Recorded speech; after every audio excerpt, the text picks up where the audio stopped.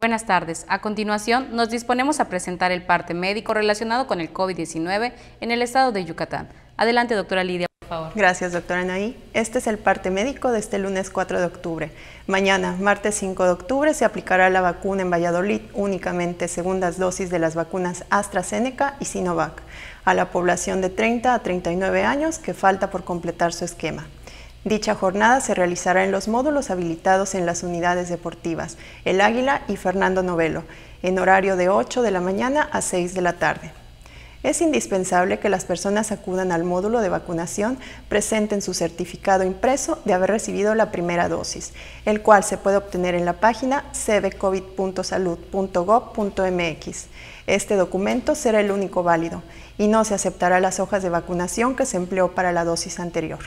Solamente se dará atención a quienes cumplan estos requisitos, por lo que se invita a abstenerse de acudir si no se tienen, para evitar aglomeraciones. Como se ha señalado en la reapertura económica, los datos más importantes son la ocupación hospitalaria y los ingresos diarios. El día de hoy tenemos 201 pacientes en hospitales públicos.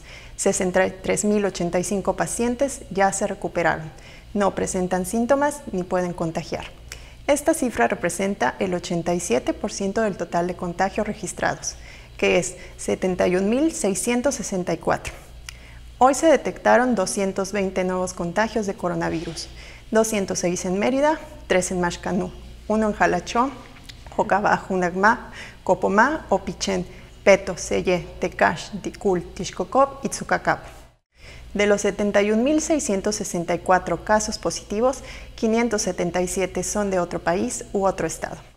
Específicamente, en Mérida se han diagnosticado 42.903 personas contagiadas de coronavirus, que viven en 11.246 en zona norte, 10.844 en zona oriente, 4.045 en la zona centro, 6.494 en la zona sur, 10.274 en la zona poniente.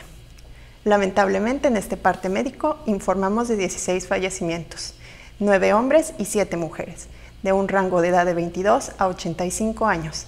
Sus principales enfermedades fueron diabetes, hipertensión arterial, obesidad, insuficiencia renal crónica, inmunosupresión, asma, tabaquismo y enfermedad cardiovascular. 12 residían en Mérida, uno en Telchac Puerto, uno en Sinanché, uno en Humán y uno en Valladolid.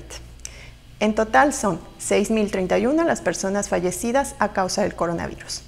De los casos activos, 2.347 están estables, aislados, monitoreados por personal médico de la Secretaría de Salud de Yucatán. Presentan síntomas leves. Como ya se mencionó, 201 de los casos positivos están en hospitales públicos y en aislamiento total.